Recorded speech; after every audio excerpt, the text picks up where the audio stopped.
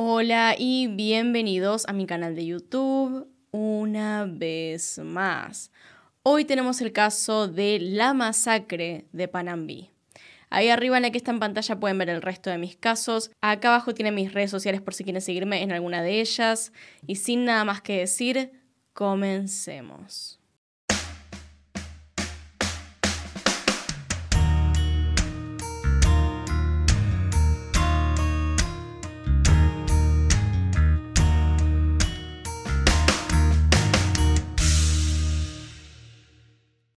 La familia Nack, antes de la tragedia que marcó sus vidas de manera irreparable, era una familia unida que se dedicaba al negocio maderero en las afueras de Panamí, una ciudad en la provincia de Misiones, Argentina. Esta familia estaba compuesta por la pareja Oscar Carlos Nack y Graciela Mohsiuk, quienes tenían tres hijos. El hijo mayor, Cristian, de 25 años, Carlos, también conocido como Nano, de 24, y Bianca, la hija menor, que tan solo tenía 12 años. Oscar, un hombre de negocios, llevaba adelante su empresa en el kilómetro 7 de la ruta provincial 5.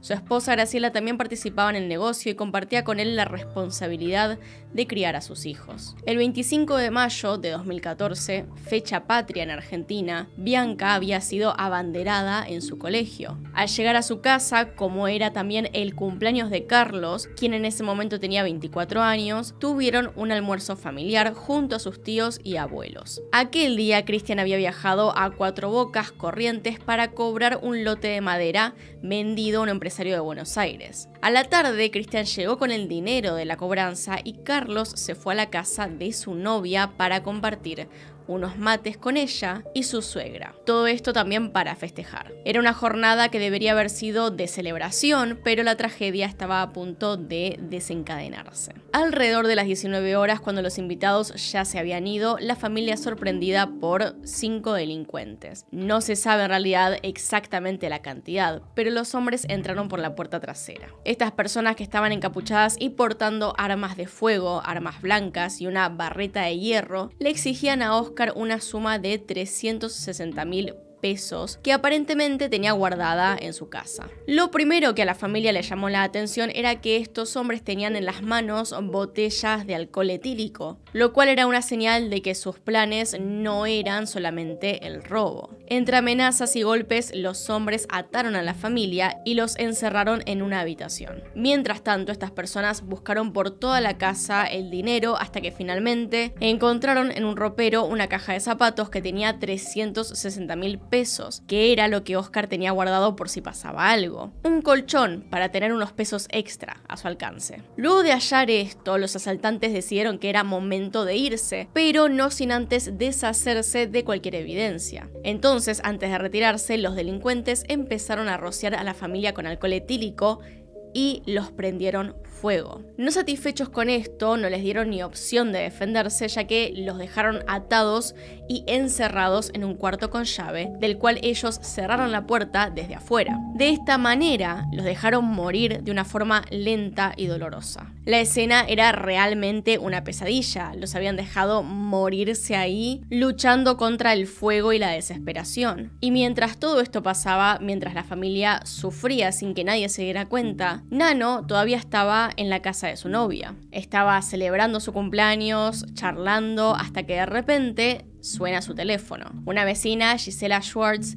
lo llama para avisarle que habían asaltado a su familia y que tenía que ir inmediatamente a la casa. Apenas llegó al domicilio, la casa estaba rodeada de vecinos y de policías. Pero lo peor de todo esto fue ver a su familia, que estaba toda quemada y tirada en el pasto. Pero en realidad, en ese momento ellos todavía no habían muerto. Bianca Nack resistió lo suficiente como para advertir lo que le estaba pasando y llegar al hospital. Estaba completamente quemada, decía que no podía resistir el dolor y aún así preguntaba por sus padres y sus hermanos. Carlos acompañó a sus padres hasta el hospital Samik y luego llevaron a Bianca al hospital Madariaga. Lamentablemente, aunque la familia luchó por su vida, las quemaduras eran tan severas que cubrían más del 80% de sus cuerpos por lo que luego de agonizar por días, Carlos vio morir a sus familiares uno por uno. El 26 de mayo falleció Graciela y al día siguiente Oscar y Bianca. La única esperanza en ese momento era que sobreviviera Christian, que tenía la cara demasiado quemada, pero su cuerpo estaba un poco mejor. Durante 36 días el joven luchó terriblemente contra las secuelas físicas y emocionales de la brutalidad que había sufrido. Sin embargo, a pesar de la atención médica y los esfuerzos por mantenerlo con vida, Christian finalmente sucumbió a las complicaciones derivadas de las quemaduras sufridas en el ataque y falleció. Pero antes de irse y a pesar de estar agonizando por el dolor, habló, y no solo eso, sino que fue la clave para la resolución del caso. Según declaró el joven, su familia era gente trabajadora y humilde, y el único dinero que tenían en la casa ese día era el que Christian había llevado. Christian, mientras sufría, mientras se quemaba vivo, logró desatarse y saltó por la ventana en busca de ayuda. Fue en ese momento cuando pudo ver con sus propios ojos a uno de los asaltantes fuera de la casa. Y lo peor era que el hombre no era un desconocido conocido para la familia. Detrás de esa cara cubierta, Christian se topó con una persona que les había comprado madera en el pasado y que incluso frecuentaba su casa. Resulta que este hombre era el comprador que les iba a llevar machimbre. Dijo, es el prefecturiano o ex prefecturiano. Con esto se refería a un ex integrante de la prefectura naval argentina y que lo conocía perfectamente.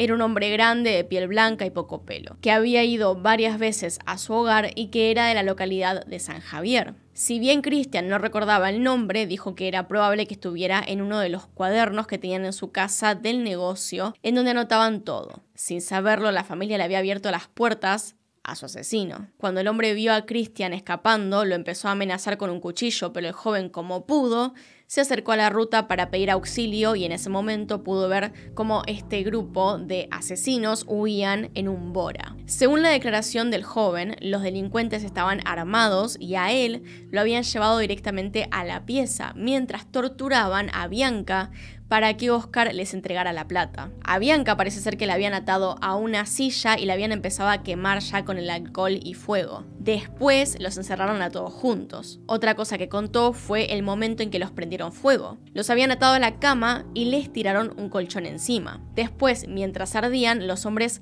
agarraban la puerta para que nadie pudiera abrirla. Su testimonio frente a la policía no solo proporcionó detalles cruciales sobre los eventos que llevaron a la masacre, sino que también confirmó las sospechas iniciales contra uno de los cuatro detenidos en el caso.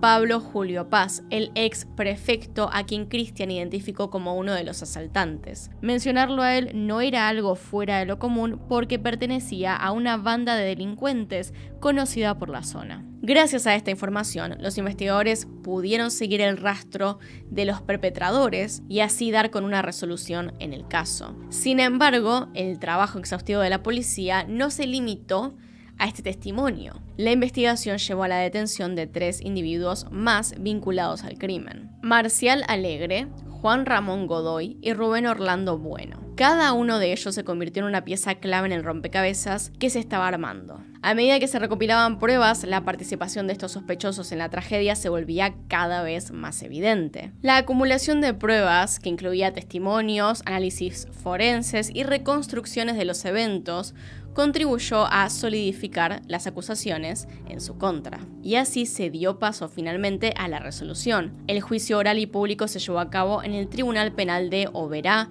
donde Marcial Alegre, Juan Ramón Godoy y Rubén Orlando Bueno fueron acusados como coautores del delito de homicidio calificado. En la audiencia se presentaron las pruebas recopiladas durante la investigación, los testimonios clave y los argumentos. Los abogados de la defensa por su parte buscaron cuestionar la validez de las pruebas presentadas y desafiar los testimonios que incriminaban a sus representados. Durante el juicio oral, Marcelo Maslowski, licenciado en criminalística y profesional de la Policía de Misiones, dijo lo siguiente durante su exposición. El olor a carne quemada no se olvida fácilmente. Sobre el piso de la silla había restos quemados compatibles con la calza rosada que tenía la nenita. En la tela había restos de carne quemada y un fuerte olor a pis. Eso percibe un perito en la escena y debe dejar de lado sus sentimientos para hacer bien su trabajo. Maslowski descubrió los focos de incendio tanto en una habitación como en una silla del comedor. Estos son los dos lugares donde se determinó que los delincuentes habían atado, torturado y quemado a la pequeña Bianca. Dijo, estas personas perdieron la piel, así que donde tocaron había rastros de sangre, incluso en los utensilios que utilizaron para apagar el fuego. Se encontraron numerosas huellas de pisadas, así como carne quemada y restos de ropa con quemaduras, además de cinturones y cables que se utilizaron para atar a las víctimas. Todo fue documentado fotográficamente en presencia de testigos. En la habitación matrimonial en donde los asesinos buscaban la plata, se halló la caja de zapatos en donde estaban resguardados los 360 mil pesos, que mostraba varias fracciones de huellas coincidentes con las de Paz. Entonces, para la sentencia se basaron en los siguientes puntos. Primero, las huellas dactilares compatibles con el ex prefecto Paz, encontradas en la caja de zapatos. Segundo, el hallazgo de rastros genéticos del mismo Paz. Y tercero, los pelos de Godoy en un trozo de media encontrada en la escena del crimen. Otra cosa que incriminó a Paz claramente era el testimonio de Christian Nack, quien antes de morir lo identificó en la escena del crimen, como un prefecturiano o ex prefecturiano, y describió el vehículo de los delincuentes, un Volkswagen Bora gris, cuyo modelo y color coinciden con el auto de Godoy. Según Godoy, ese 25 de mayo del 2014 había estado en San Javier, la localidad en donde residía. Sin embargo, varios testimonios pusieron en duda su coartada, entre ellos tres ex familiares políticos del imputado. Por otro lado, una mujer y su concubino afirmaron que el mismo 25, a media mañana, habían visto un Bora gris en cercanías de su casa, en un camino vecinal del kilómetro 13 de Panambí. En cuanto a Alegre, el primer indicio en su contra fue un llamado anónimo que se había hecho el 26 de mayo del 2014, que apuntó la investigación hacia su taller en San Javier. Después de este llamado, el chapista intercambió varias llamadas con Paz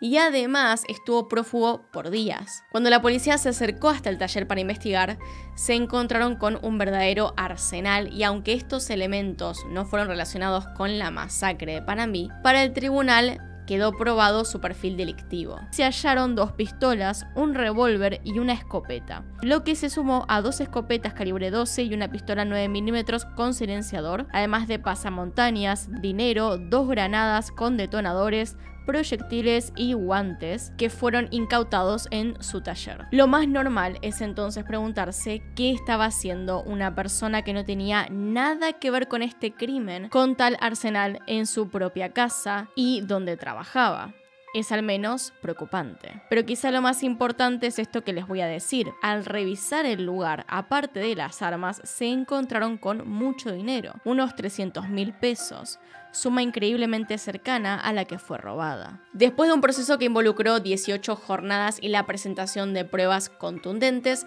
llegó el fallo. Pablo Julio Paz, el autor principal del crimen, así como también Marcial Alegre, Juan Ramón Godoy y Rubén Orlando Bueno, fueron condenados a prisión perpetua como coautores del homicidio calificado. Al mismo tiempo se ordenó seguir investigando para dar con otros dos culpables implicados, hasta ahora desconocidos. Respecto a todo esto, Pablo Julio Paz se expresó bastante frustrado y descontento con el sistema legal que lo llevó a la cárcel. Cuando lo entrevistaron, Paz cuestionó la validez de su detención, refiriéndose a la llamada anónima como el punto de inicio de su involucramiento en el caso. Y dijo, resulta que la policía de Misiones es mejor que el FBI. Con una llamada anónima nos detuvo. Es una llamada anónima que ni siquiera se puede probar que existió. Estoy insinuando que la base de su arresto podría ser cuestionable. En este mismo contexto reconoció que fue todo una tragedia y subrayó que él también es un padre familia y que la noticia de lo sucedido le afecta como cualquier otra persona. Él negó cualquier participación en la compra de madera, incluso para arreglar su propia casa. Paz dijo que todo esto de llevarlo a juicio y encarcelarlo no era más que una excusa para resolver el caso, que por presiones políticas debían hacerlo para llevar un resultado a la comunidad. Finalmente, los tres acusados por la masacre de Panambí fueron ubicados en diferentes cárceles de la provincia. Paz fue trasladado a Loreto, Alegre pasó a la unidad penal 6 de Posadas y Godoy se quedará en Oberá. Me gustaría decirles que la masacre de Panambí se resolvió, que sabemos exactamente todo lo que pasó, pero tal vez no. No sabemos exactamente cuántas personas fueron las que entraron en la casa. Se estima que son cinco, por lo cual faltarían algunas, quizá más, por lo que incluso si es verdad que estas tres personas fueron culpables de los hechos, quedarían dos mínimo en libertad. Por lo que lamentablemente no les puedo decir que este terrible caso esté resuelto. Pero bueno, díganme qué opinan abajo en los comentarios que los estoy leyendo y díganme si ya conocían este caso. Acá están los Patreons y los miembros del canal, gracias por apoyarme a través de esos medios. Y sin nada más que decir, acá tienen un video nuevo, acá tienen un video recomendado, se pueden suscribir haciendo clic en mi cara y nos vemos en otro video. Adiós.